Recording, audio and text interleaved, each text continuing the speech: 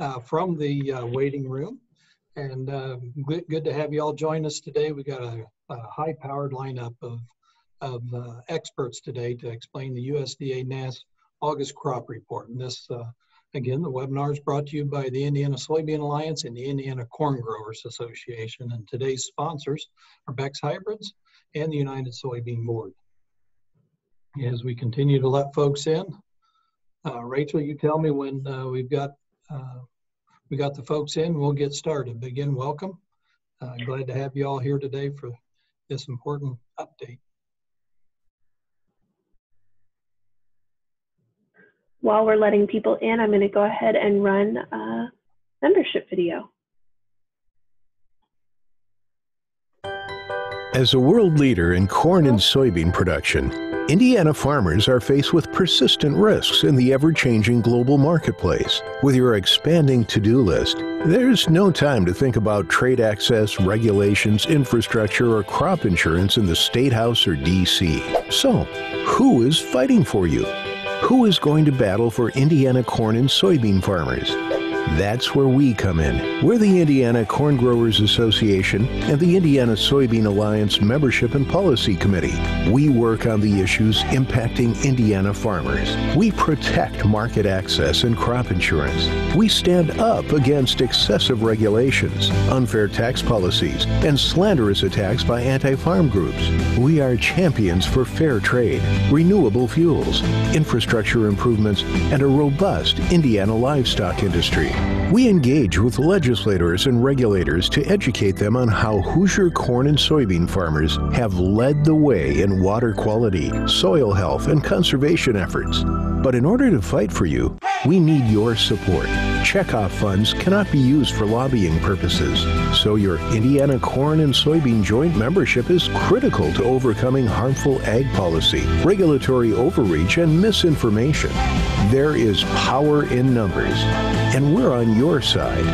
Now, more than ever, it's important to join with your friends and neighbors to champion Hoosier farming. Together, we can use the power of corn and soybeans to make Indiana ag stronger. Join today at incorn.org.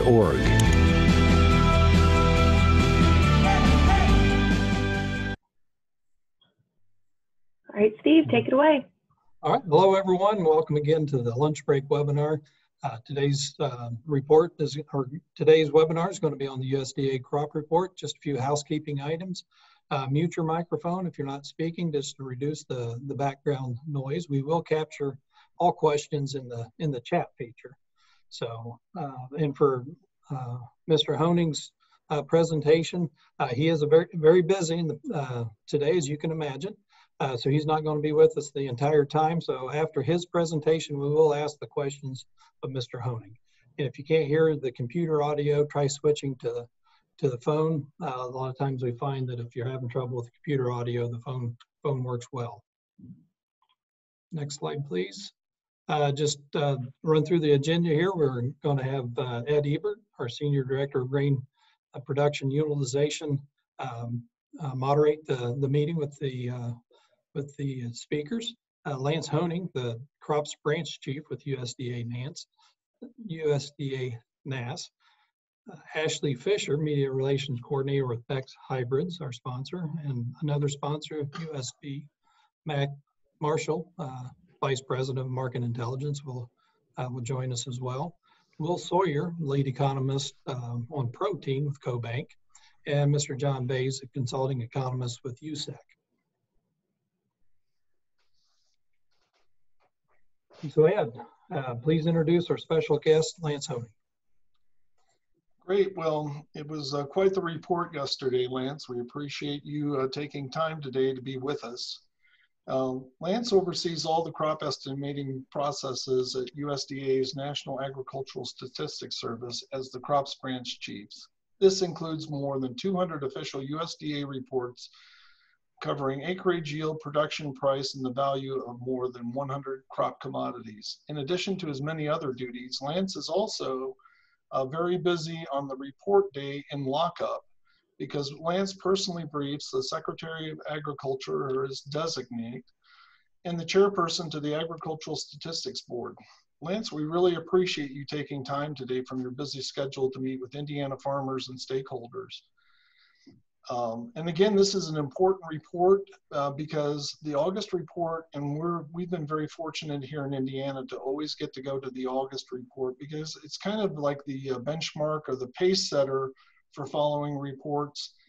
And as Lance will be leaving as soon as he is finished with the question and answer session, please get any questions that you have into the chat feature of this conference. Lance, tell us more about the report that came out yesterday. All right. Well, thank you, Ed, and hopefully you can hear me okay. I actually got disconnected a few moments ago and, and had to dial back in. Uh, so I'm not sure that it recognizes who I am, but at least it's letting me talk. So I appreciate the opportunity to come and share a few thoughts with you. It is unfortunate that uh, with the situation that we're in today that we couldn't do some of these things face to face, but I think everybody's done a good job of adapting to uh, being able to inter interact in this this other way. So if we go ahead, I'll I'll walk my way through the slides here, and uh, you know I'm trying to keep my comments pretty brief so that uh, we can have plenty of time for Q and A. I think that's really the uh, the greatest advantage to these kind of discussions is for me to get an opportunity to answer the questions that you have. So if we can go to the next slide, uh, I always like to uh, just remind folks who NASS is and what we're here for. And of course, our mission statement really sums it up. It's to provide timely, accurate, and useful statistics and service to all of U.S. agriculture. Um, and in order to do that, we publish a lot of information. Yesterday was just one of many uh, reports that we put out. Uh, you can see about 500 reports nationally that we put out every year, about 120 crop commodities uh, that we focus on. So that translates to me uh, being about eh, roughly 200 and some reports uh, that my staff puts out every uh, year. And so if you break that down and take out the weekends and holidays and things of that nature, I mean, you, you quickly realize that it's not that far from a report a day uh, that we're putting out. And so yesterday was just one of many uh, pieces of information that we uh, we provide each and every uh, day here at NASS. So if we go on uh, to the next slide, I had just a couple of other things I wanted to share. Uh, I always like to also touch on a little bit about why USDA estimates production. And I say USDA, I didn't just say NASS here, uh, because we're not the only folks involved in this process. Um, but really, you know, it, it's about what the bottom of the slide says. It's about leveling the playing field. And I know it doesn't always feel like that sometimes, but the bottom line is there's going to be information out there. There is. And the question becomes, is everybody going to have access to that information or, or is it going to be a series of haves and have nots?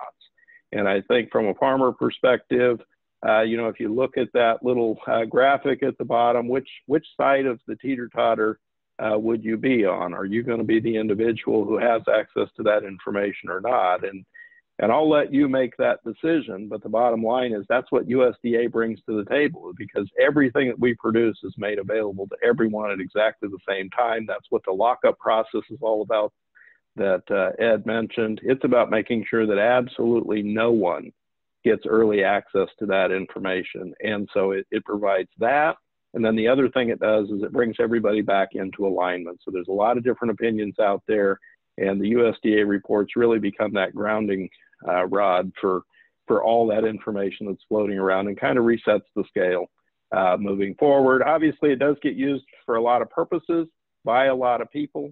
Uh, it can be everything from a day-to-day marketing decision to uh, you know, it gets used very heavily in designing and implementing programs, including farm bill programs. So as we look across USDA, uh, so some of our biggest partners are right in-house at USDA. They need the information to administer those programs uh, that they're carrying out uh, to help benefit producers all across the country. Uh, the next slide, um, really, I just want to touch on this very briefly. August is a great time, I think, to provide the reminder uh, that there's really a couple of different sources of information throughout the growing season. Uh, this graphic really focuses on corn and soybeans. And I want to talk a little bit about the, the partnership and the difference between the World Ag Outlook Board and NASS, or put another way, the WASDE report and the crop production report. Um, as you can see by the graphic, uh, whether you're talking about planted acres, harvested acres, yield production, or ending stocks, there is information on the current crop season starting all the way back in March. Uh, but where that different piece of information comes from uh, can vary throughout the season. So planted area, that's pretty much NASS all year long from March on. And, and let me just say that anytime NASS publishes a value, uh, the World Board adopts that value in the WASDE report for the U.S. But as you can see on the graphic, NASS doesn't necessarily have every number all season long. And so sometimes the number that you see published in the WASDE report, it absolutely is a USDA number, but that doesn't necessarily mean that it's a NASS number. And I bring that up now because occasionally when August rolls around, for example, uh, that becomes the NASS yield, first yield and production forecast of the season for crops like corn and soybeans. But the WASDE's had one for three months, but it's a different process that they go through. And so sometimes when you see a change from what was published in the WASDE in July and what NASS publishes in August, it raises a lot of questions, but the reality is the process is completely different. Uh, NASS is relying on information from farmers, sometimes from uh, you know, objective yield survey work that we do, we look at satellite information, and the WASDE leading up to that point is typically relying on weather information and trend analysis. And so I'm not saying necessarily that one is is better than the other, um, but the processes are different, and I think you need to understand that when you start thinking about the differences. The other big difference you'll see is the ending stocks. I just had a conversation about this on uh, another meeting that I was speaking at just a few moments ago. Uh, questions about ending stocks and ending stocks. You know, NASS measures stocks on a quarterly basis, so we don't measure the quote ending stocks until we actually get to ending stocks. And so when you're talking about ending stocks today for this season, that's a that's a WASDE number that's coming from the World Ag Outlook Board. And so they have a different process for forecasting out what that is than what NASS is going to actually measure in the bins uh, when we finally get to that point in September. So that's just a little bit of background in terms of who we are and what we do and some differences across USDA. Uh, with that said, let me talk a little bit about yesterday's report, and I'll open with the same thing we opened with the briefing for the secretary deputy secretary yesterday. Um, and that is that just a quick reminder that this is nothing new, but NASS forecasts of uh, yield and production each month are based on conditions as of the first of the month. Uh, we put a gray box on the front of the report yesterday to make sure folks had that reminder before they even got into the data. It's obviously very relevant uh, for what we're talking about right now. Uh, and so we were very specific in that note and pointed out that that is the case and that any potential impacts from severe weather that occurred after August 1st, and I think we all know what that weather was that I'm talking about, uh, will be reflected in future reports. So the production forecasts that were issued yesterday, uh, that was based on conditions August 1st, and therefore any impacts that come from the derecho event this week were not reflected in that report. And that's by design, that's by policy. Um, and quite frankly, uh, we're probably fairly fortunate because we would have never had the time to even begin to adequately measure that impact uh, in time for yesterday's report. Um, equally important to the data, um, I'm a big proponent of this, is understanding the process. That's part of why I'm here to answer questions. Uh, that's part of why you'll find me in lots of other places talking about this uh, type of information as well. And that is, I think you've got to understand where the information came from and you have to understand how we put it together. And so the very first slide that I always share with the secretary before I talk about the numbers themselves is a slide very much like this, where I make sure he understands where the information is coming from. And that's what I want to do for you today. And so for yesterday's report, we had three pieces of information feeding into the production forecast in that report. Uh, the first, of course, was what we would call our ag yield survey. And of course, that's an operator reported survey. Uh, you can see we reached out to just over 20,000 farmers, uh, roughly uh, July 30th through August 6th, and we asked each one of them to provide to us their expectation of yields for the various crops that they're growing this season. Now, you look at those dates, and I'm sure that probably raises a question in your mind already that I just finished telling you that it's based on conditions as of August the 1st, but now you're telling me you collected data through August the 6th, and that is true. Uh, but we also asked folks to focus in on, uh, first of all, try to dial back to what was happening August 1st. But even more importantly than that, uh, let me just say that that's a, you know, roughly a seven, eight day uh, data collection period uh, but the vast, vast majority of that data comes in at the very beginning of the reporting period. And so we need those extra days to make sure we can get adequate reports. Uh, but the bottom line is by far the majority of that data would have come in July 30th, 31st, the 1st, maybe the 2nd. Um, and so it's very heavily focused around the 1st. That's done by design, but three or four days isn't enough uh, to necessarily get responses from all 20,000 producers. So that's why you'll see a slightly larger window there. And of course, in this particular case, with that event happening on the 10th, it's really a non issue in terms of worrying about whether you had any impact spilling over into the reporting. Uh, secondary to that, we did have, uh, if we go back a slide, I'm sorry, uh, we did also have objective yield uh, work, but only for winter wheat this month. And you can see the sample sizes there. Um, obviously, for corn and soybeans, that's going to start leading up into the September report. We used to do corn and soybeans in August as well. We stopped that beginning last season. Uh, the reason we did that is for efficiency purposes. And we went back, we studied the data that we've had for many, many years. And what we found is, although that information was helpful, uh, we can do just as well in August without that information for corn and soybeans. And so it just makes sense from a financial standpoint not to commit those resources that early. Uh, the crop just isn't that mature.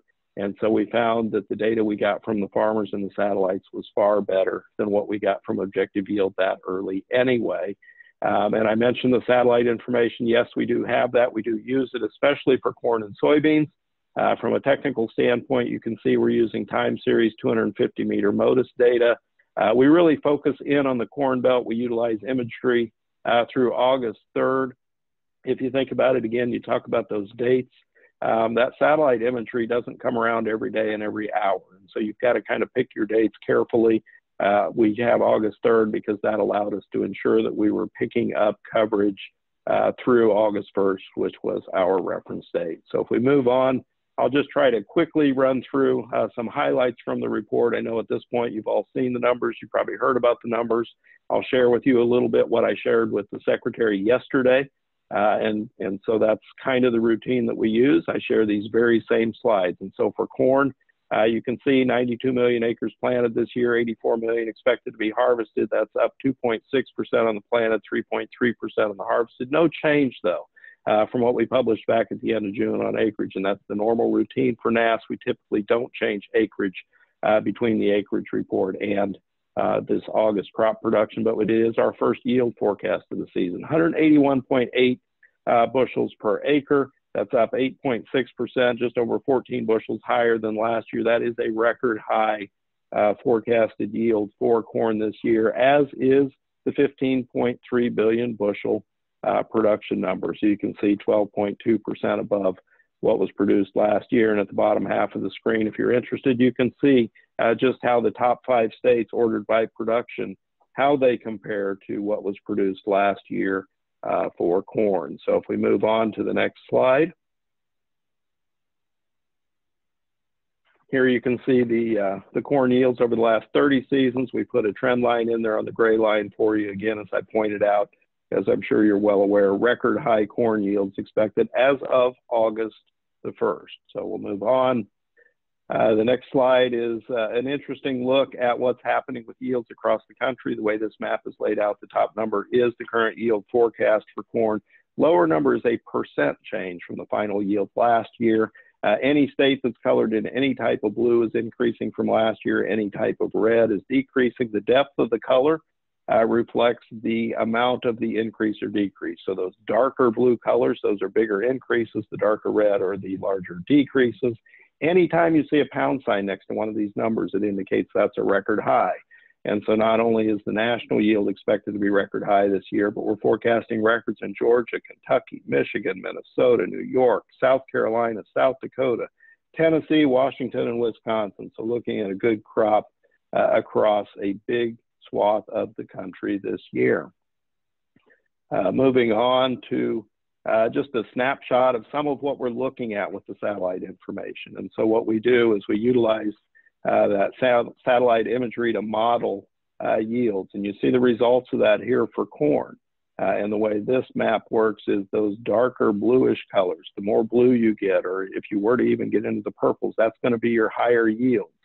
And so we think this is a nice image to share because it provides you an even, uh, even more detailed look at how the yields are varying across the growing region. And of course, uh, we're not just using a map, but we're getting very hard facts uh, behind the scenes that tell us how this feeds into the various state yields that we published yesterday. So great information to supplement uh, the information that we're getting from producers.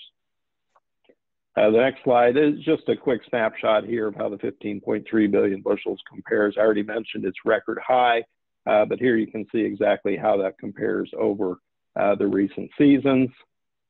Um, the next slide, uh, the last one that I have for you on corn.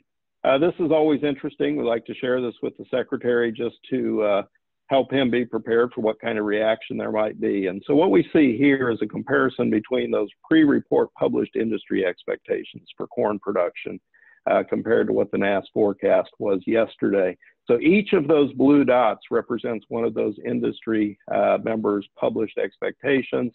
The red block that you see on there is the NASS forecast. Now, let me just point out uh, that we do have folks that gather these uh, pre-report guesses for us. They file them away. We don't access them until after we've set the numbers and begin to put the report together.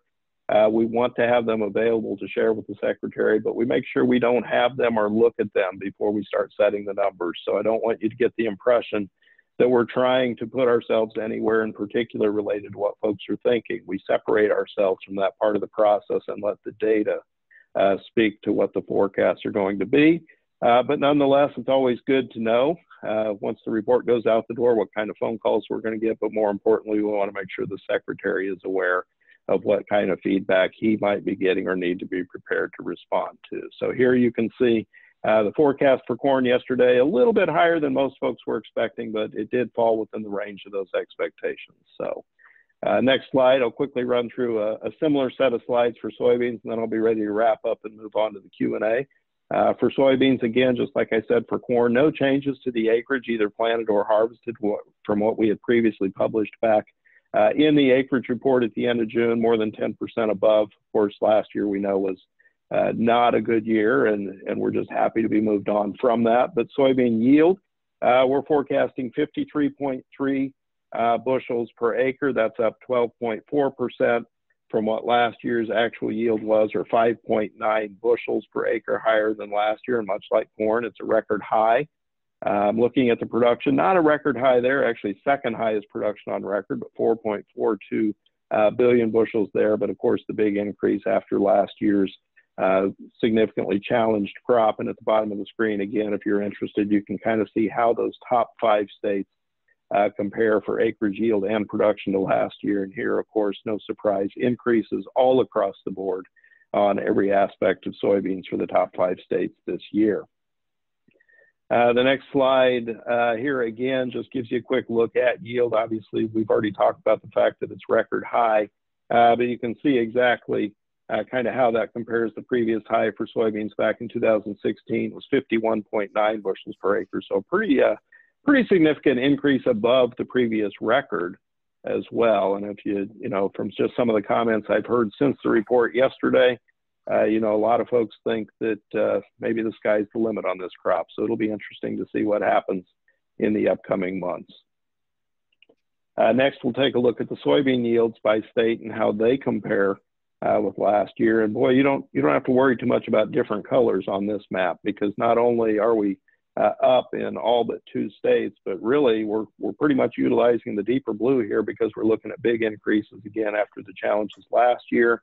Uh, once again, like they talked about for corn, all those pound signs next to the numbers, we're looking at record yields not only nationally, but in a lot of states. Um, Illinois, Indiana, Kentucky, Michigan, Mississippi, Missouri, Nebraska, Ohio, and South Dakota. Those are all expected to be record highs this year. Um, not that uh, this group is terribly interested in Pennsylvania, but anytime you see some such an anomaly on a map, I'm sure that raises some eyebrows and wonder, you know, did we forget to uh, increase yields in in Pennsylvania this year? But uh, the the weather, you know, weather can be a funny thing, and in Pennsylvania, they just it, it's been hot and dry, unlike even areas around them. And I'd also point out that if it still seems strange to you, uh, that's actually still not only the sixth highest yield in Pennsylvania, but it's only two bushels below the previous record. So uh, still a very good yield. Uh, so I think we can say all across the entire growing area, very strong yields this year for soybeans. Uh, next, we'll take a, a quick look at some of that satellite uh, generated yield information for soybeans. And again, um, the, the, color scheme just helping you to identify where the, the high points are. And, and really, when I look at this graphic, I think, um, you know, I, I feel like I see a lot more uniformity. In other words, I think this reflects what we saw on the previous map that we're just looking at good yields all across uh, the growing area. Not really a whole lot of hot spots, uh, either good or bad, just really good crop. Uh, next, just a, again, a quick look at kind of how that production stands up. As I mentioned, second highest on record, but if you look at uh, both 18, which is the record, and 17, uh, you know, 17, 18, 20, we're looking at pretty comparable production numbers there. Uh, last year's anomaly sticking out like a sore thumb uh, on this graphic. And then uh, last but not least, when it comes to soybeans, uh, the next graphic will show you a little bit more of a surprise here. And so, you know, yeah, it, it's really interesting because the pre-report guesses uh, not as high as the NASS forecast. Obviously, you see the red block above all of those dots, but yet a lot of the commentary since yesterday has already been, boy, I wonder if this crop will get even bigger. So it's just, it, you know, when a crop's big, it's always uh, hard to get a handle, I think, going into a report on exactly how big it is. And so going back to the beginning of my presentation, I think this helps uh, set the marker uh, for folks to get some concept about exactly what kind of crop we're looking at for soybeans this season.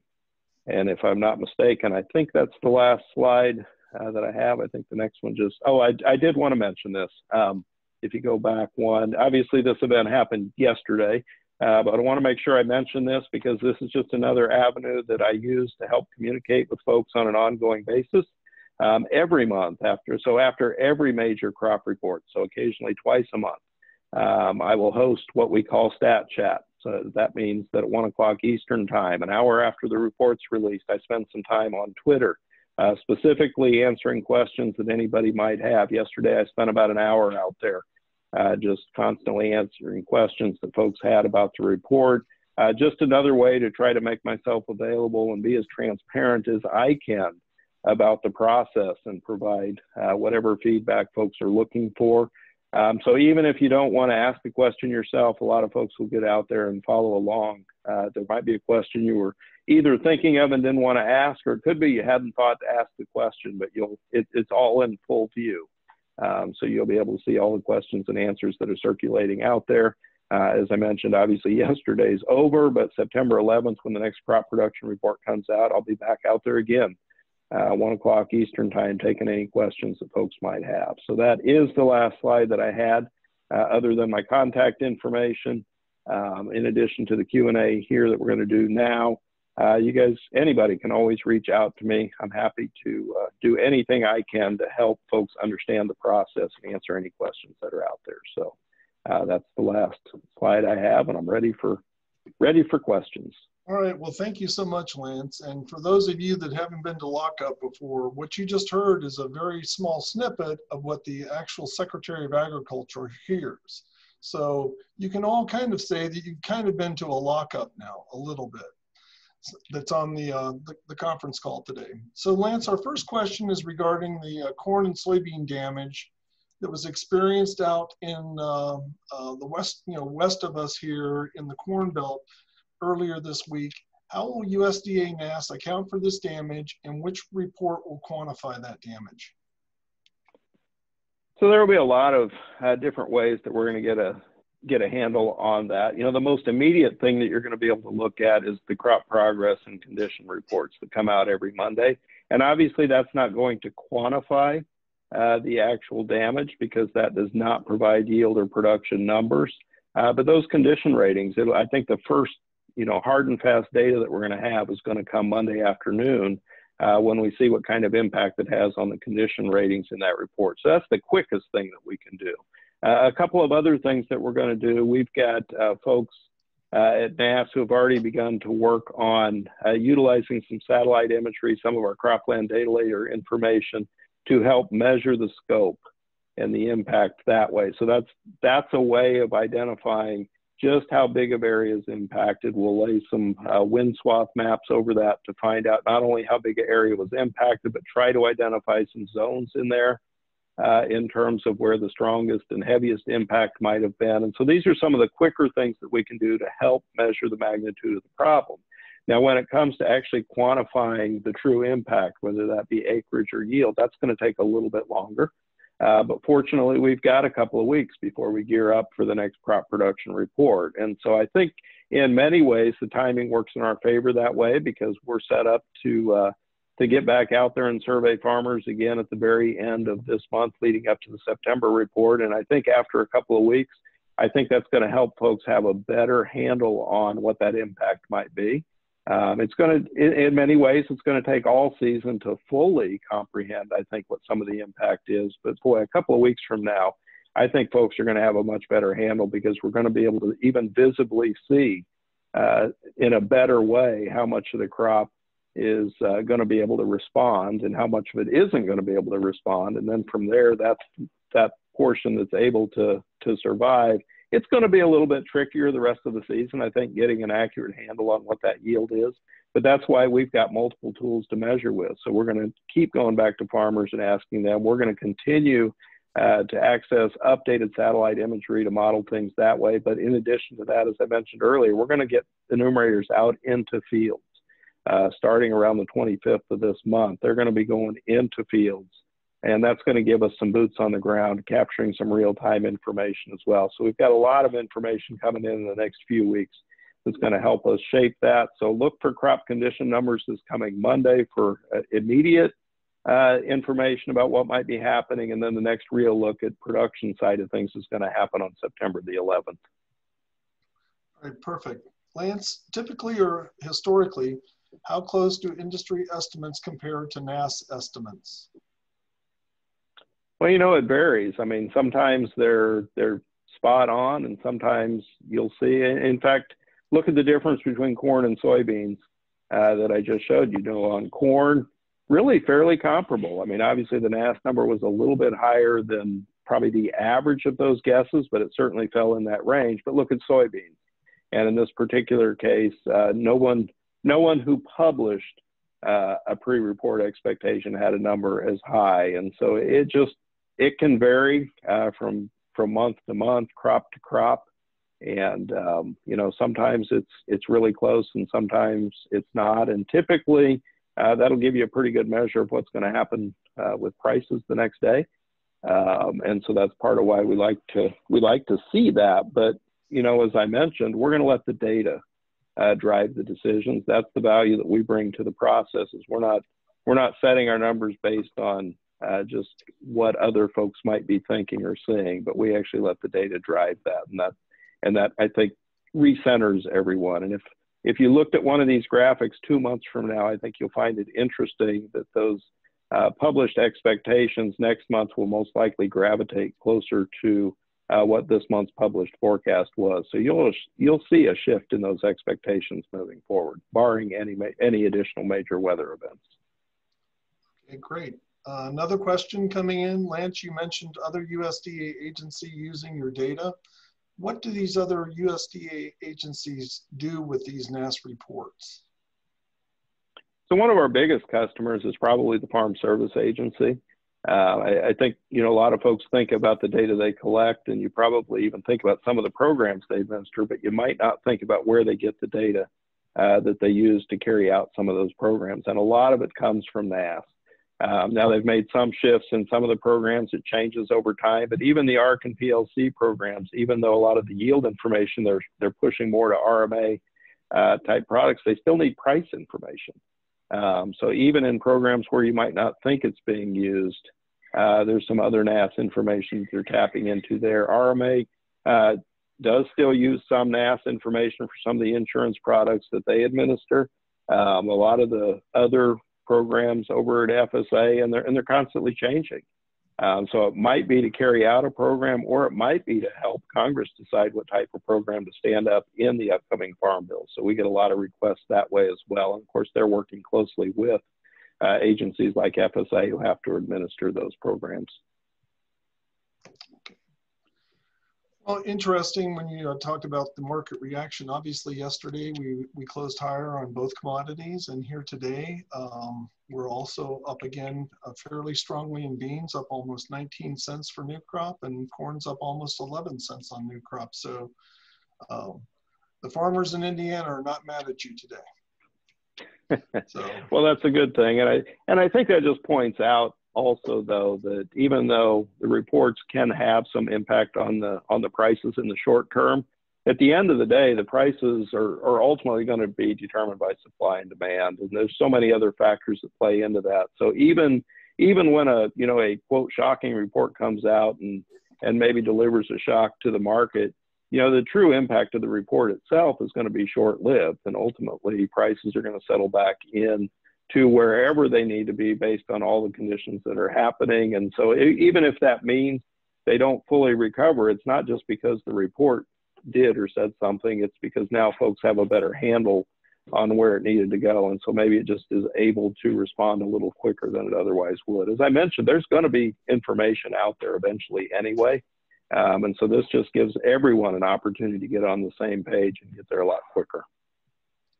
All right. Well, well, thank you again, Lance. We here at the Indiana Soybean Alliance and the Indiana Corn Marketing Council would like to thank you for taking your valuable time out of this busy schedule to speak to Indiana farmers and stakeholders about this important crop production report. Uh, we understand you're very busy. This thing was released just over 24 hours ago, and we look forward to the upcoming reports on how this crop progresses. Thank you again. All right, thank you, Ed. And you know, anytime, just happy to help out in any way I can. So well, hope just, you all enjoy the rest of your meeting. Just let me in the building next August. All right. I I semi promise. All right. Thanks again. Thanks, Mr. Honig, and uh, really appreciate that first slide uh, where you, you explain the need for having that open report. Uh, want to bring in our uh, one of our sponsors for today, uh, Beck's Hybrids and Ashley. Um, Ashley Fisher with Beck's Hybrids is going to provide some remarks. So Ashley, you're on. All right, well, thank you. Uh, good afternoon, and thanks to Lance and all the other speakers who are going to talk today that are sharing their knowledge and information. My name is Ashley Fisher. I'm the Marketing Operations Lead at Beck's.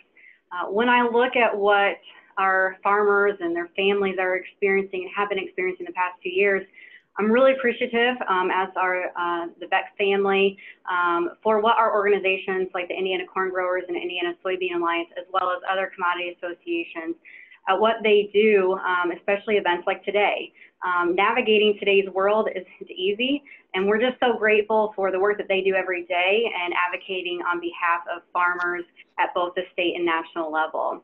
But before I go on, there's one more group that I want to thank, and that uh, is our farmers um, who are especially who are joining today. So farmers farming, um, I grew up on a farm and um, have been working in the industry for over 12 years. That it's such a remarkable occupation and it's selfless and it's challenging and difficult, uh, but is is also so rewarding. Um, and so I want to thank you for your hard work and dedication to one of our nation's greatest industries. As the largest independent uh, family-owned retail seed company in the United States, uh, Beck's has grown to become the number one brand in Indiana, as well as the fourth largest brand in the United States. And when I was thinking about today in the webinar, one word really kept coming to mind, and that was connection. Connection to our industry and connection to fellow farmers. And I've heard Sonny Beck, who's our CEO, say many times that you will be the same today as you were yesterday, except for the books you read and the people you meet. And so in an industry, in a world that is constantly changing, webinars like this today uh, with experts um, on various topics are giving us the opportunity to engage, learn, and make those connections. In my nearly 10 years um, of being a part of the Beck family of employees, I'm truly amazed at our growth, a growth that's been fueled by our why of helping farmers succeed. Our leadership and our employees make connections each day that are focused on providing the best seed products for each acre. But we're also dedicated to delivering information that helps farmers make decisions to improve profitability, especially in environments that are constantly changing. Since 1964, we've had an agronomic research program called Practical Farm Research that has assisted farmers in finding new ways to better manage their farms and to increase ROI. We dedicate more than 800 acres at six of our own locations, as well as partnering with independent research companies and universities for a total of 12 testing sites across the United States. In fact, I want to personally invite you, if you're ever interested, um, we do private PFR tours at our uh, independent at our PFR uh, locations at each of them, um, as well as we're hosting our annual Technology Days here at the end of this month on August 25th through 20, 27th through the 29th. So I personally invite you. Um, if you want more information, please go to our website uh, for all the details. But Beck's is a company that's been built on the hard work, faith, and innovation of our family of employees and dealers. And our why is helping farmers succeed. And we all have different whys for why we do the jobs that we do. But I firmly believe that there is one thing that really unites all of us. Um, and that one thing isn't going to change, and that's at the heart of it. Uh, we are all farmers. And so I want to thank uh, the Indiana Corn Growers and Indiana Soybean Alliance for hosting today, our speakers for being available, and especially our farmers. Um, and now I want to turn it back to it's either Steve or Ed, I'm not sure, but one of you uh, to introduce our next speaker. Well, thank you, Ashley, uh, for those remarks, and uh, thank you uh, to Beck's for their sponsorship. We really do appreciate that.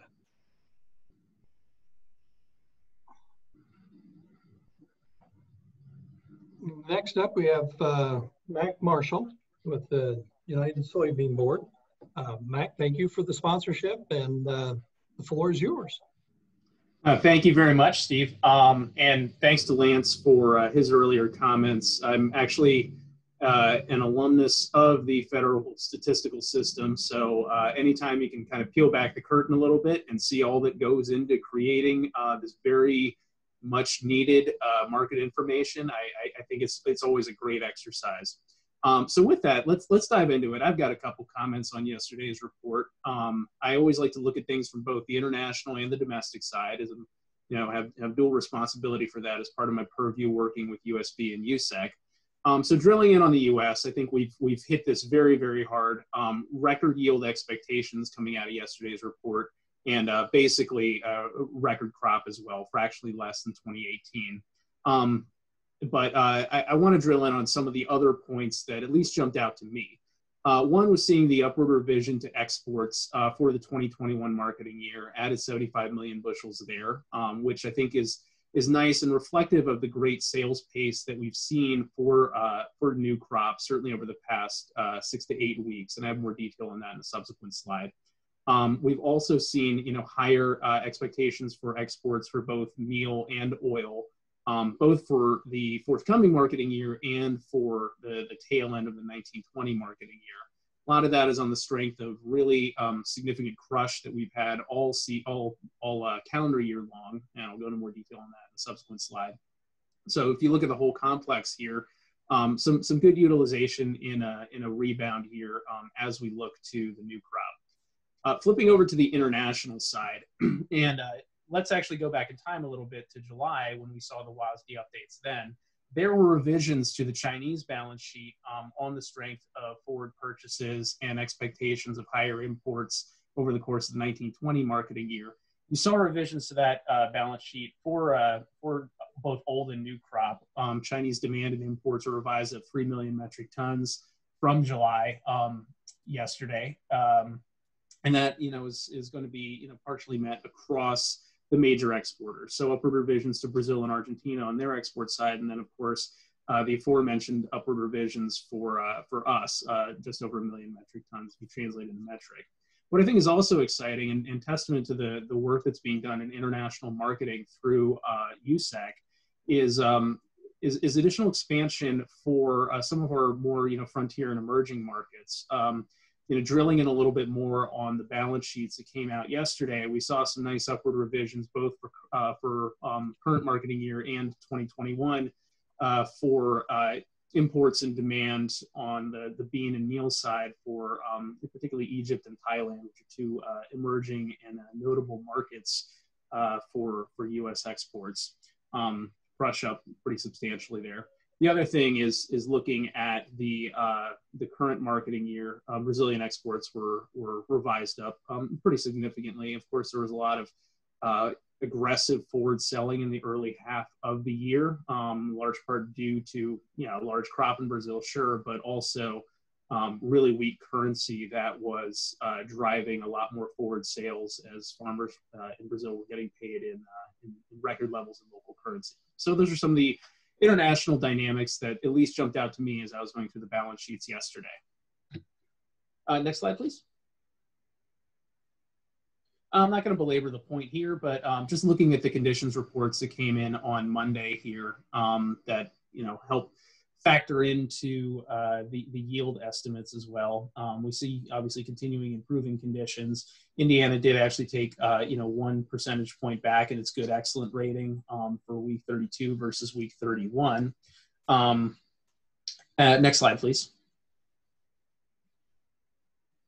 Uh, and one of the things that I like to do whenever we have one of these crop reports come out, um, particularly when we get to that July, August, September timeframe is is reconcile uh, those crop size estimates with um, at that point in time against uh, where the final estimates are. And and really the chart on the left here, I think, uh, is is a nice validation of how well thought out the timing and methodology and process are.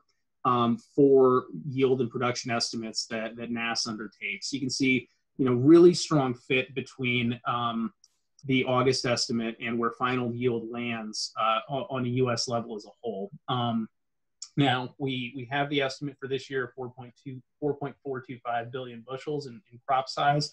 Um, could be some modulation on that. Uh, I think especially in light of um, the weather events that we had ripple through Iowa earlier this week. Um, we talked about that earlier. That's not something that has uh, been integrated into the uh, the aggregate production estimates, and, and certainly the crop conditions report that comes out Monday afternoon will, will bear monitoring. Uh, if we're going to drill in a little bit on Indiana specifically, next slide. Um, I, I, like to look at the conditions as they prevail week by week and reconcile how that translates into final yield here. Um, you know, not a, not a, a, great fit there. I mean, the quantification is a little bit different, but just to give uh, some context, um, you know, certainly the good to, and excellent rating that we saw for Indiana for um, for last week, uh, 67%, pretty uh, pretty substantial, and definitely uh, one of the higher ends that we've seen. Um, if you're looking at that historical data set uh, there, um, kind of on the right hand side of the left hand chart.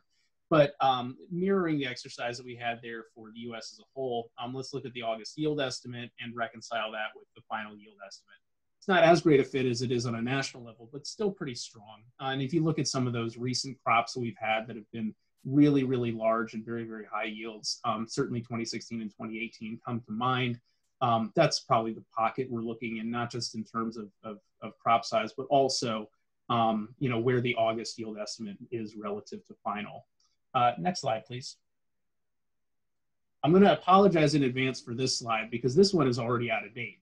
Um, this is uh, and, and, simply due to you know just getting the slides done in time here. But um, I want to provide some context on export sales and pace and what we're looking at um, through the course of the year. So uh, ignore all the numbers on this. Literally, um, uh, what I'll say is for this most recent week, um, we had the export sales data come out this morning, and uh, you know more bullish news and i think we're seeing that reflected in uh, the futures curve uh, today as well. Um, uh, steve had talked about the 19 cent rally that we've seen for for new crop beans and i think you know uh, export sales are certainly playing a role in that. Uh, if we look at the past week us has added 1.1 million metric tons of soy sale excuse me of exports um, more than half of which were going to china and then, um, more importantly, I think as we head into the, the tail end of this marketing year and the crossover on September 1st into the, into the new crop year, um, you know, we, we've got that continued excellent pace of new crop sales uh, to China and to other destinations. Um, so the, the analogous figures I have here, that second bullet says 1.4 million metric tons of new crop sales added, 474,000 metric tons to China. Those, those figures for this week um, are, are really more than double in aggregate for the world, um, sending over 2.8 million metric tons in new crop sales, and uh, 1.7 million of which were destined for China. So um, if, if we're looking at that that uh, right-hand side chart at the bottom, we've got a nice uh, high set of bars uh, to the right of that that would that would be on there. This was uh, timely. So we're putting it all together. If we think about new crop sales uh, to China as a whole, right now we're standing at uh, about 10.3 million metric tons of forward bookings for the fall. Um, the highest, uh, you know, new crop sales that we've had at this point of the, of the marketing year for 49 weeks um, since since we were uh, getting bookings in July 2014. So um, I think pretty substantial, not just reflective of of um, you know uh, compared to the immediate pre-trade war period, but but really I think strong even before we got into that dynamic. If you want to go back to the middle part of the decade. Um, next slide, please. So as, as we think about you know the seasonal patterns of, of exports, um, you know now uh, you know the, the latest expectations that came out of the WASDE yesterday are for the U.S. to export nearly you know 58 million metric tons, up substantially from the 1920 marketing year. Um, you know, which is, has been challenging for a litany of reasons. Uh, I think, you know, we're all well aware of. There's the ongoing China issue. Um, we had the phase one deal signed in the early part of the year, but of course that was after the, the notable marketing window for U.S. soy. So, um, you know, the, the full advantages of that, at least as it pertains to the soy complex, haven't really been been felt yet, at least in my estimation. Um, really, as we look to the fall, that that's when um, I, I, think we, would start to see some of the impacts of that um, as that aggregate export number comes up. And then to my earlier point about uh, Brazil and the export pace that we've seen over the course of the year, um, you can see the uh, the month by month exports that have come out of Brazil and just how high ab- above um, even immediate prior year figures uh, that has been. Again, a lot of aggressive forward selling, but you can see that the Brazilian crop is already well sold um, over the course of the year. So, um, you know, a- again, as, as we look back to the seasonal um, spike for for US, uh, that that that will be favorable. Um, and more on that on the uh, next slide, actually. So here, this is looking at the Chinese import behavior, um, which and China imported a record uh, 11 and change million metric tons in June. Uh, again, predominantly from from Brazil, but we were having some nice shipments there uh, that month. And uh, you, you, can just reconcile the the uh, seasonal import purchasing behavior where you know China's effectively pivoting between the two notable suppliers in the U.S. and Brazil. We've seen we've crossed the Brazil uh, uh, peak selling season and crossing into where we are for the U.S. But if you're looking at the behavior from China, and I like to look back, you know, retrospectively as well. So over the past four years, if you're breaking down um, sales by quarter, you know, typically you've had a slight majority skew towards the second half of the year, which is where we as an exporter uh, really play. So I, I, think the open question uh, as we look to uh, this, you know, uh, the close of the third quarter and, and then, you know, certainly the fourth quarter of the year post harvest, um, will there be uh, kind of a, a material change in that split uh, between first half buying and second half buying, given all the aggressive purchasing that's happened that far. Naturally, um, we're hoping that the, the case is that that aggressive second half pace uh, does remain there. And I think um, that all the export sales data that we just talked through a little bit ago all, all speak to, um, to uh, you know, some ample opportunity there. Uh, next slide, I want to pivot over to the domestic side just to give a, some market dynamics here.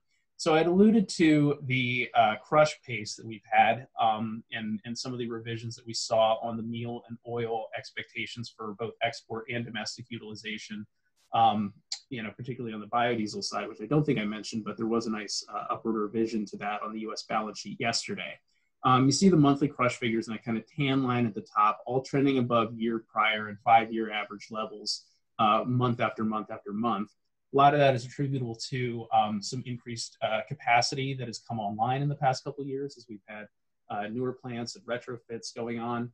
Um, certainly good to have more of those uh, domestically oriented uh, disappearance channels. Um, if you uh, don't take a month by month look and really just look at the first half, you can see how aggressive the crush has been over this period. Um, you know, uh, it, it's allowed for some higher exports of, of value added soybean oil uh, also soybean oil going uh, in, in higher and higher rations into um, in, into uh, biodiesel as a feedstock. And actually, on that, let's let's flip over to uh, to the next two slides here because I think this is a nice integration of that. So um, on the oil side, well, here's the here's what the inventories look like. Um, domestically, certainly as we've had a lot of crush. Uh, on the meal side, it's, it's, backed up a little bit as um, you know, animal ag certainly took uh, a, a, pretty substantial hit in the in the, the, the pace of production in the middle part of the year. It is rebounding uh, overall. If you look at hog slaughter over the course of the year, and I, I think Will is is going to get into uh, elements of this in his presentation. Um, if you look at hog slaughter, you know, through the first you know few months of the year, we had the significant downturn in in uh, in March and in April. Um, but you know, the resilience of the industry has really allowed for uh, a, you know a degree of a rebound back here, at least in terms of processing capacity. But what it's meant for meal inventories is with that coupled coupled with that higher crush, um, a little bit of a build there. But on the oil side, um, we've had a lot more disappearance into uh, into biodiesel as well because um, with that somewhat of an abatement in uh, in in in hog slaughter in the middle part of the year, um, decreased availability for you know yellow yellow grease as a as a feedstock, and and that's allowed for a little bit more disappearance on the soybean oil side, which has been nice for our complex. Uh, next slide, please. So yeah, putting it putting that uh, I, I, get, I guess a visualization of that last point I, I just made there. So if we look at domestic soybean oil disappearance for biodiesel, um, you know, we're up almost 4% from last year and, and almost 20% from two years ago. Um, uh, latest figures for uh, for May, you know, had the highest monthly use over the past three years, and that's and you also see reflected there some of the downward trend for uh, for the animal fats that have, have been uh, used or animal fats and, and spent um, cooking oil as reclaimable grease uh, used in the biodiesel sector. Um, last slide here. So a lot of this is focused kind of on near-term dynamics, but I always want to end with uh, a longer-term perspective here. You know, if we look at you know global soybean consumption and uh, break it down between U.S. and international here, um, really the the pace of as we look at the the forthcoming marketing year um, is is a pretty substantial increase in demand. Um, so world demand uh, year-on-year growth, at least as predicated by yesterday's WASDE, over 16 million metric tons, well above the 10-year trend, and you see that reflected as well in uh, on both the U.S. side and the international side. So I think the the takeaway here is that you know whatever the near-term market conditions uh, are, and um, you know I'd say up until the rally that we've had over these past couple days, um, you know prices have been you know low and treading water, but um, certainly seeing uh, this uptick on the demand side and you know more aggressive uh, you know buying out of out of major import markets um, is uh, certainly all good signs and, and more testament to the, uh, the uh, underlying, uh, I'd say, strong global fundamentals that lead to this, you know, in, you know, high level of aggregate demand. Um, with that, I know I, I, think I've reached my time here, um, so I'll, I'll, pitch it back to to Ed and Steve to introduce our next speaker. But I want to thank all of you for your time. Thank you. Thank you, Mac, for that insight, and thank you for the sponsorship, USB, and thanks for all you do for Indiana uh, soybean farmers and soybean farmers across the country. So, Ed, next next guest. Yeah, um, real quickly here, Will Sawyer is our is the lead animal protein economist at CoBank's Knowledge Exchange Research Division, where his focus is on providing market and industry research for pork, poultry, and beef sectors Will, we appreciate you taking time to talk with Indiana farmers and stakeholders. And if we can, continue to send in your questions. And at the end of our presentation, uh, we'll do a Q&A with our, with our presenters. So Will, the floor is yours. Thank you, Ed. Thank you, uh, thank you all for the invitation to, to say a few words. Uh, appreciate the, the corn and soybean producers of Indiana. Um, I grew up in, in North Carolina, if you couldn't tell by my accent, so I'm glad to be in fellow basketball fever country, uh, assuming we ever get to play another game of college basketball. But we can all hope, right? Uh, but appreciate the invitation to say a few words. Um, we have a lot to talk about in the protein market, so uh, whether we're talking feed or animal. So, so let's uh, go ahead and get right into it in the uh, next slide. Um, when I look at the, the USDA report um, yesterday, I think at least as it comes to the animal protein, I kind of think about the movement that we saw in production uh, in the back half of, of this year as kind of moving of the deck chairs to some degree. Um, overall production growth is still looking very consistent at around 1.2% total protein growth.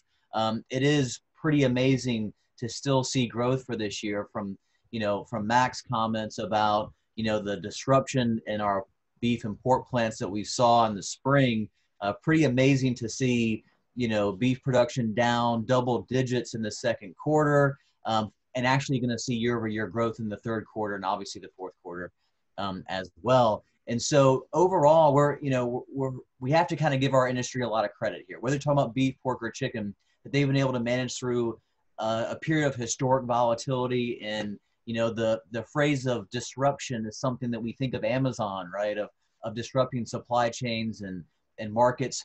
Uh, COVID, I think, did a fair amount of disruption, but our industry is is back in business to say the least. Um, when I think about the back half of the year, I think it's really interesting to see poultry production mostly flat, maybe down a little bit versus a year ago. Um, we always wonder how the poultry sector is going to respond to market forces from a supply standpoint. Rational supply is always uh, the best supply, right?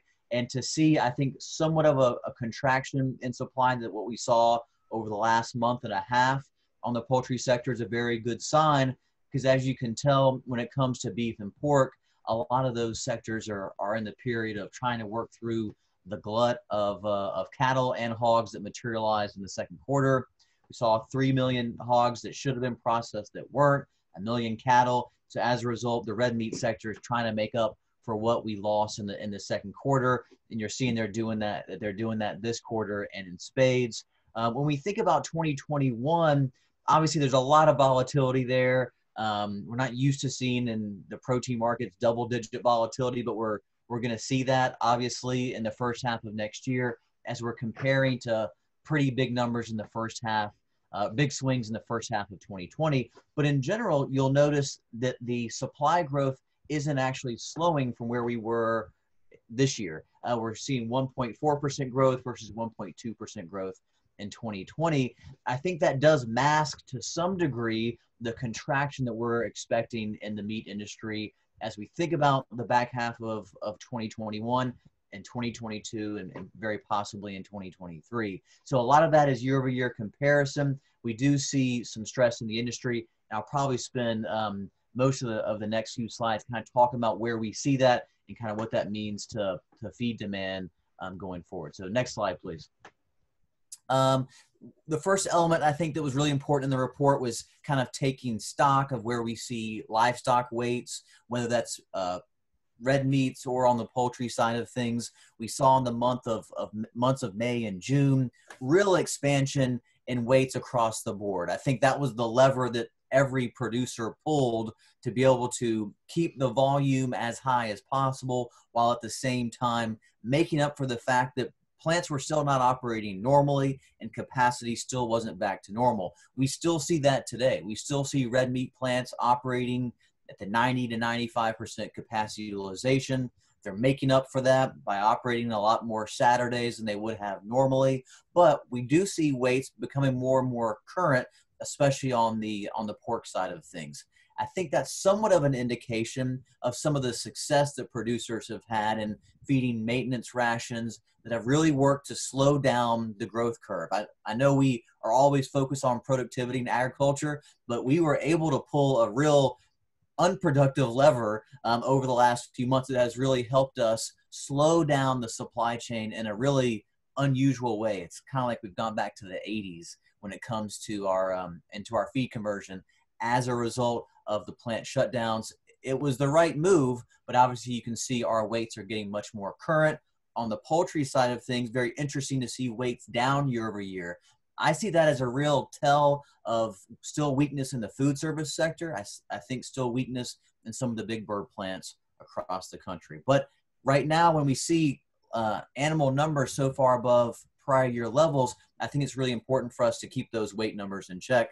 The last thing we need is to see the cutout fall any further than what we saw a few weeks ago. Uh, that was starting to, to be a little bit concerning about how domestic demand was looking um, in the US market. Speaking of markets, let's go to the next slide and talk about some of the non US markets. And to, to piggyback on, on Mac's comments on the market that really is telling the story for U.S. protein um, is China, of course. You know, when you look at the first half of the year, we're going to have sent three times more animal protein in the Chinese market than what we did in the first half of 2019. So when we talk about the phase one agreement, and, I'm, and obviously protein isn't the only component of the phase one agreement with China. When it comes to protein, we've got a pretty good story to tell, right? Almost 800,000 um, tons sent in the first half of the year. What's interesting in the USDA report is that while, and I've got it highlighted here in the data, is that they're thinking about more of a return to normal in the back half of the year. So, for example, with pork, instead of you know the 28%, 27% growth we saw in the first half, they're expecting that rate of growth to slow significantly in the back half of the year. Beef, things getting better, chicken, slowing down. And so this kind of normalization, I think maybe wishful thinking on the beef side of things, but on the pork side of things, I don't see a lot of indication to say that we're going to see a massive slowdown in our shipments to the most important market in this story in, into China. We, we still see historic high hog prices in China. Um, we see that changing over time, but that may that might take months, maybe quarters. Um, I don't think that's going to to interrupt that trade flow from a supply and demand standpoint, not a political standpoint. I, I'm not in the political um, forecasting business for obvious reasons, but from a supply and demand standpoint, we still think there's every reason out there for the Chinese to be buying the large volumes that we've seen um, so far this year. And, and the U.S. has been a big winner. Um, our volumes obviously have tripled so far. And if you look at global supplies of protein into China, they're up by 75%. So we're doing very well. We are losing some share in some other markets. I think the most important market for us to focus on, not that we need any bad news right now, is, is on the Mexican market. Uh, Mexico has been a really important market for, for decades now, prior to USMCA, back when we had that thing called, called NAFTA. And, um, and even at that time, if you look at our trade flows um, of, of protein into into Mexico. Um, they we do see some slowing in the in the first half of the year, especially when you look at um, when you look at beef and you look at pork. You know we don't want to lose that market too much because we have a strategic advantage there. It's called a, a border, and that is and that's still an advantage for us. And so when we think about the macro weakness in Mexico, when we think about their protein production growth in Mexico, that does make me think a little bit in a constructive way about the the outlook for our trade flows there. That's still a market I think that we that we can't lose sight of. Japan and Korea, very strategic markets, and still doing okay despite our our growth into China. And I think that's a very good sign for us to see. So all is quiet for the time being on the international front. So let's bring it back home in the next slide here. When we think about you know the outlook for for protein demand domestically and i think the outlook for profitability for the livestock sector in general we really need to think about the two levers of, of food service demand and retail demand. And food service is on the left and retail is on the right. Let's start with food service because that's not as great of a story. You can see that foot, uh, foot traffic within the full service restaurant uh, end of the of food service was very weak obviously when we were all sitting at home wondering what was going to happen to the world not just the united states. And and obviously things have improved significantly since then. One date that's important to probably half of us on the phone right now is father's day. Um, that was about as good as it got when it came to the improvement um, in, in foot traffic within food service. And since then it hasn't really continued to improve unfortunately. I think However, we want to quantify the impact of the second wave when it comes to food service and protein demand. That's where we're a little bit concerned. So I think this is very important for us to watch. Obviously, we're not going back to where it was in March, but it's not the continued improvement that we would like to see this time of year when everybody's on vacation and hopefully eating all the protein they can get their hands on. So, other side of, of, of consumption on protein, retail retail was quite a hot story. I know we all were, were watching those meat prices get crazy expensive um, earlier in the year, and we still see inflation. Um, in the green section of the column there, you still see double digit inflation. What's good, in my opinion, to see is that supplies of protein are back in the meat case. And whether you're talking beef, pork, and chicken, what was a real disruption and drove actual negative volume uh, availability for the consumer is now back, and and I think that's really good to see. The last thing we need is an empty refrigerator when it comes to protein. I think we can all agree there. So next slide, and I think this might be yes my my last slide. This I work for a bank, CoBank. Obviously, we're a, a proud member of the Farm Credit System, so I have to talk about profitability. It's obligatory, I think. Um, and it's unfortunately not that great of a story, I think, especially on the pork side of things. I, I have to use the build it, they will come analogy in the pork sector. We've all expanded pork production in every state, maybe other than my home state of North Carolina, but nevertheless, we've really expanded production and we've built it and they've come, right? And we see these Chinese exports or exports to China uh, really materializing. What this says to me is that from a supply and demand standpoint is that we, we either need to see continued expansion of, of exports, not just in the back half of 2020, but going forward, or we may need to see some rationalization of production over the next few years. Well, time will tell which one makes the most sense. On the other species, you can see the volatility in the beef side of things there in, in the dark blue. Um, however, you want to quantify the volatility, it wasn't really a, a, great year so far for cattle feeders. That's not new news. But what's I think really interesting is still seeing um, packing margins contracting. And so when we look at our customers on the beef and pork packing side of things, those margins have contracted, and it makes us really think about the fact that wages are much higher than where they were a year ago. PPE costs are a lot higher, of course than where they were prior to COVID. And so we kind of think about a lot of stress in the supply chain. And, and I think the producer is seeing a lot of that of that pressure.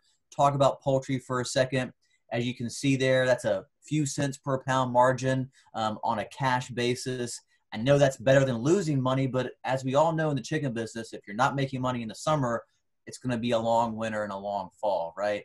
And I think that's something that we have to think about. So when you put all those variables together, that makes us think about somewhat of a of a peak in production on protein in 2020, 2021, and then some uh, some contraction from there. So believe that's my last slide, other than the next one, which has my contact information. You know where to find me, phone or email. But Ed, I appreciate the, the few minutes to say a few words. Thank you so much.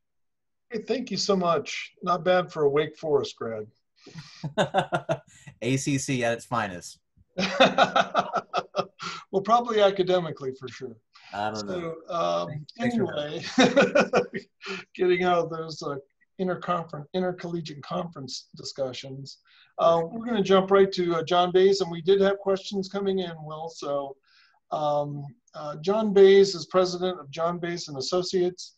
Uh, he's leveraged his 38 years plus of working in global markets on behalf of soy, U.S. soybeans, and uh, the United States Soybean Export Council for many years. He's been with them. So, John, thank you for taking the time today to share your thoughts on the August USDA reports. thank you very much. Um, it's good to be with you. Uh, I think that uh, the you, you, may be surprised at what I'm saying with my first slide. The outlook for U.S. is not industry is not always bad. The fact is, uh, you talk to farmers in the last few months, wouldn't be saying, well, my gosh, these prices are terrible. I don't know if I'd make any money on them or whatever. And so it's easy to see the negative side. But I think you need to, a lot of things that are going on that are positive, even with COVID 19 and the problems we've had with China. Uh, we're going to have a high, uh, a record high soybean yield in 2020, according to what USDA projects.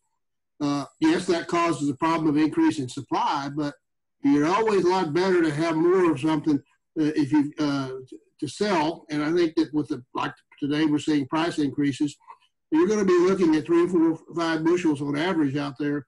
Looks like to for people to uh, uh, uh, extra production this year, and that's income that they're looking at now. Global soy demand is continuing to grow rapidly. Uh, global soy demand in 2021 is forecasted to be almost 16 million tons greater than in 2019-20 and 25.4 million tons greater than in 2018-19. Put that in perspective, uh, 15.97 million tons is more than the soy production of Paraguay, and Uruguay, and probably Bolivia, which are three of the big suppliers in the world. Uh, and the 25.35 million tons is bigger than uh, India, Paraguay, and uh, Uruguay combined. Uh, so that's a lot of growth. Uh, China soybean imports in 2021 expected to be 16.46 million tons greater than 20, uh, should be 2018-19. Uh, that's a lot of growth in uh, soybean imports in China. Now, they may not have come from the U.S., but with the big crops we've got in South America and elsewhere, anything that China, uh, the more they consume, the better off we are.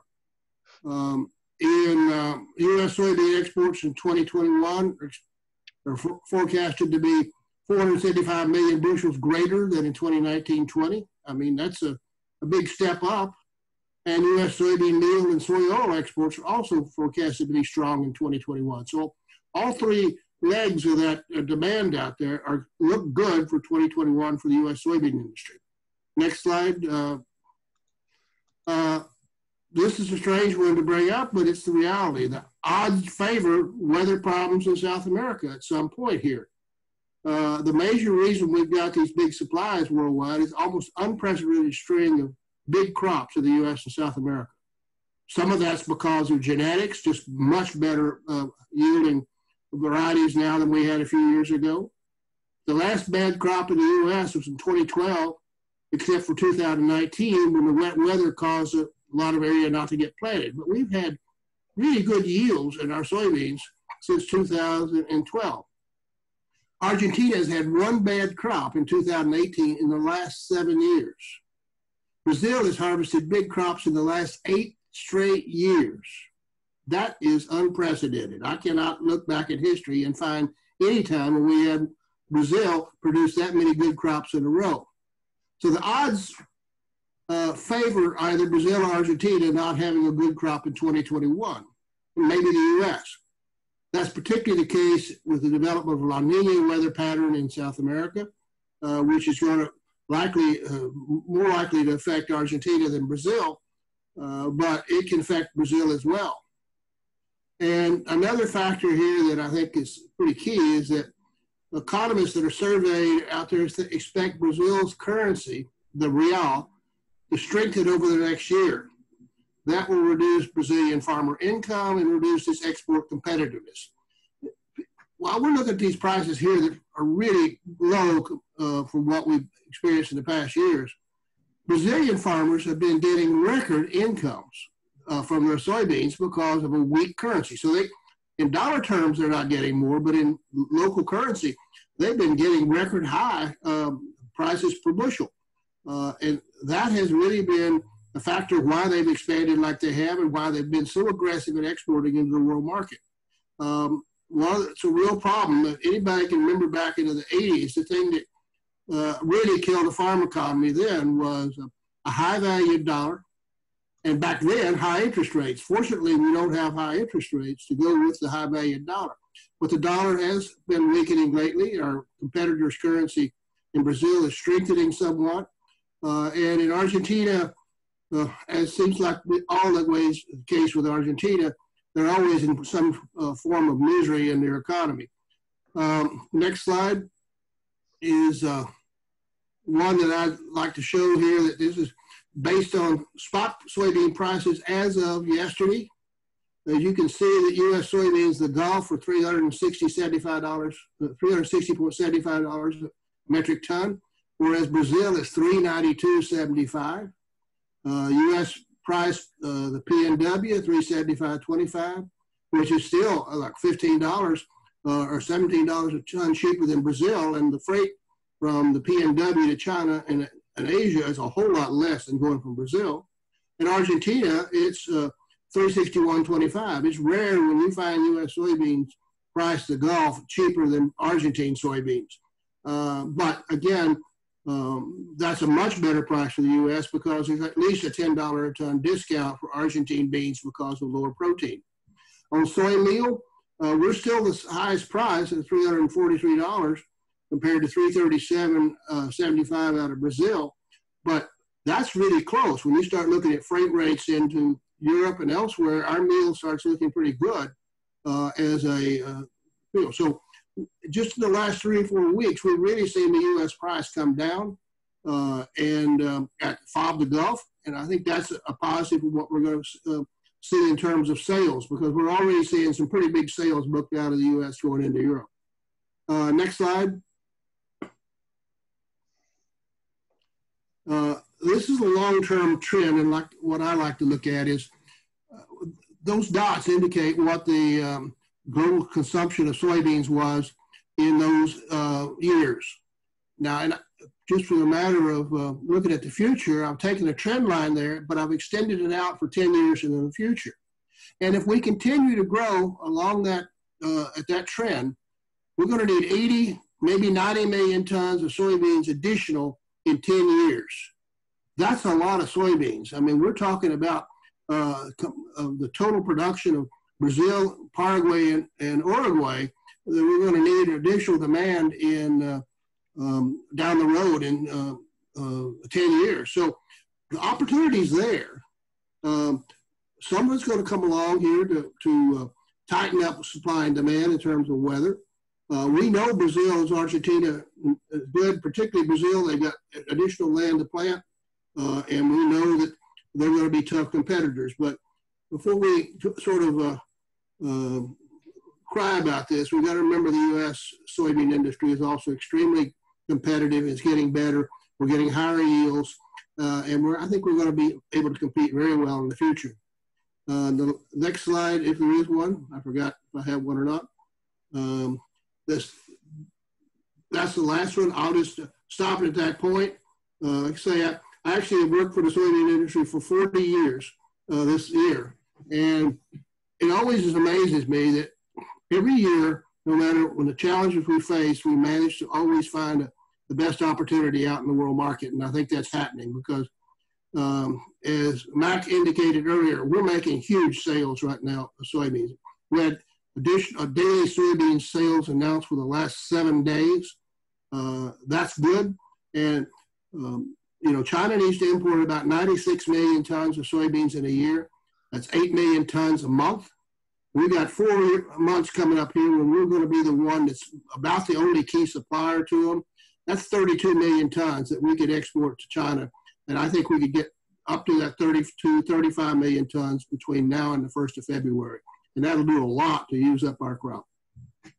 Thank you. All right, that's great news, uh, John. Appreciate that that uh, perspective and outlook. I think the market's agreeing with you today. So uh, we do have uh, we do have some questions here uh, from our group.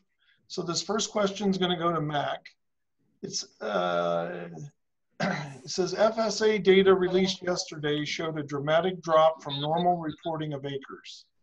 Oops. Um, is the market struggling with this at all, and what impact will this uncertainty have going forward? Yeah, so um, I, I, think one of the things that I've always tried to reconcile, I think even going back to my time in the private sector, is is how to integrate that FSA data. So um, I, I, assume we're referring to the 1.2 million acre drop in uh, in in soy um, in, in terms of prevent plantings uh, which I think would be the third highest, at least in the past decade. Certainly behind last year when we were beset by um, by wet weather and and had over I think four million acres not planted of soy. And uh, in 2015, which was also a really wet spring, and I think we had maybe 2.2 million acres not not planted then. Um, I, I I think that you know we look at the price rally that we've seen over the past couple days, and I think that um, you know there's there's one component of that which is is how is the market trying to process and understand what that that you know comparatively high prevent plant figure uh, is saying and how to true up the true production. Now over the next couple months uh, commence or, or concurrently with uh, with each of the crop production reports we'll have the revisions to the fsa data. I mean that won't be uh, final until until january when um, you know so the crop will have been harvested and i think everything will have been uh, you know process at that point. Um, but uh, it, it's definitely another key data point uh, to look at um, month to month going forward, and and it is certainly a high number, and I think that is part of what's giving some of the price lift uh, right now. Great. Uh, the next question is to Will. USDA uh, is forecasting uh, a jump in Chinese demand for soybeans. Um, here in the U.S., we still hear about China still um, dealing with the ASF issue in their own country, and the hog herd is only slowly recovering. What's driving this additional demand for soybeans?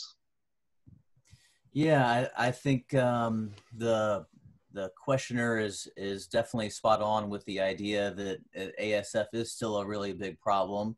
Um, but the uh, you know, I guess that saying of the best the best problem for high prices is is high prices or solution for high prices, and and I think we are in that high price environment. You know, hog, hog prices in China took a little bit of a dip in, in April and May, but they are they are back. Um, and I think the incentive for producers to um, to go into I think to go into a, a, mindset of losing a third to a half of their production due to ASF and that they will still be able to make money um, says to them that they can feed a lot of animals that may not ever make it to market. Um, and whether that's corn or meal, um, that's a that's going to drive a lot of feed demand. And and you know we're really in a period right now in China of um, of, of revolution. You know, obviously this is an industry that has had very interesting feeding practices over the years uh, when it comes to hogs. Um, and so they're in a period where they're they're finding uh, commercialization of, of hog production in a way that we've known here for decades. And so that's driving increased uh, feed demand. But at the same time, they're becoming much more efficient in their feed conversion. And so you have these polar opposite um, variables happening at the same time. You know, I think it was interesting that just this morning the USDA announced their first uh, public estimates for 2021 uh, pork production in China.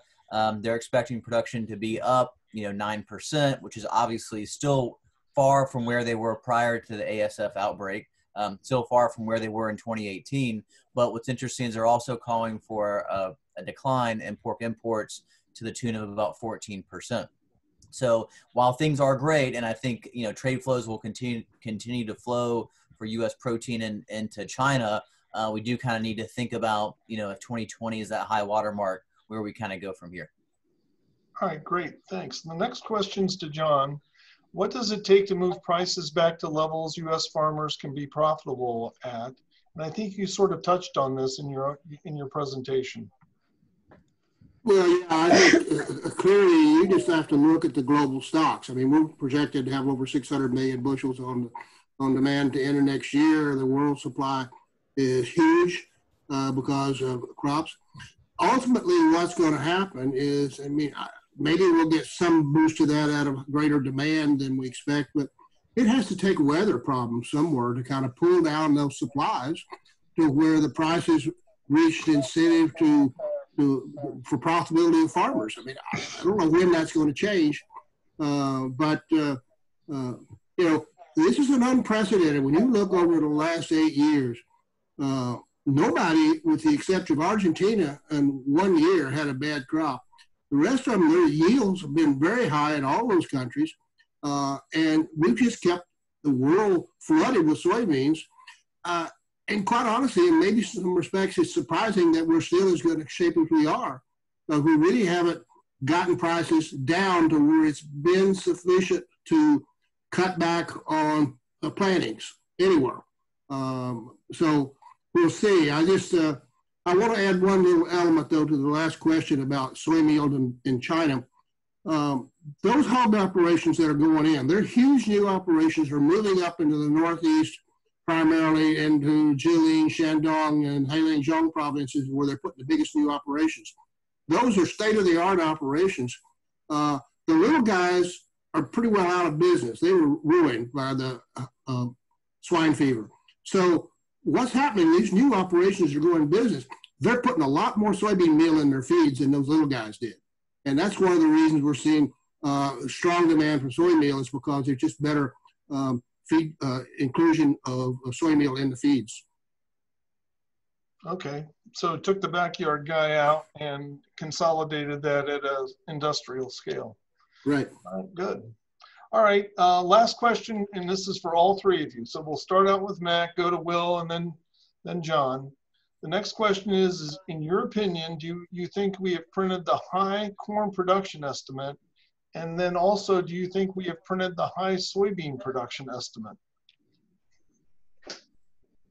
So um, I'll I'll leave the corn one uh, alone for right now. Um, it, just just speaking on behalf of the checkoff here. Um, you know, I, I think what came out yesterday, you know, we we and I think particularly after Lance's presentation, it, it all gives us um, I think a good sense of all the diligence that goes into actually creating those yield estimates and the expectations uh, for production here.